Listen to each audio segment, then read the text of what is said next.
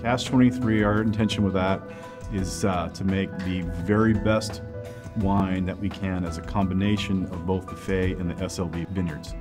Uh, 2014, you know, aromatically, I think it really does capture uh, some of those blue, you know, blueberry notes and perfume from Fay with the graphite, black currant, black tea character that you get from uh, SLV. But texture-wise, it's a uh, you know, when we're trying to trying to come up with a blend like this, again, when we and balance is a word that we like to use. What we're trying to really do is ride this fine line between power and elegance, where you're not too powerful, but you're not too soft. That's when you can wind up with this long, long, intense finish uh, that we're looking for.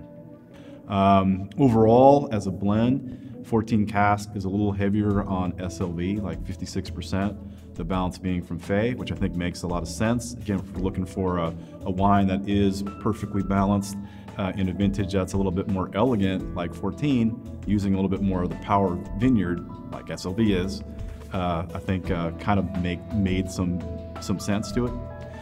You know, cask is built to age. Um, you know, balance is the key in terms of ageability.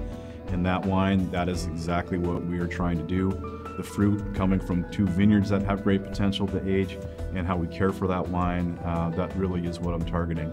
You know, Cask 23 for uh, the 2014 vintage, I think easily you've got 25 years, 25 to 30 if you want to hold it. Be patient.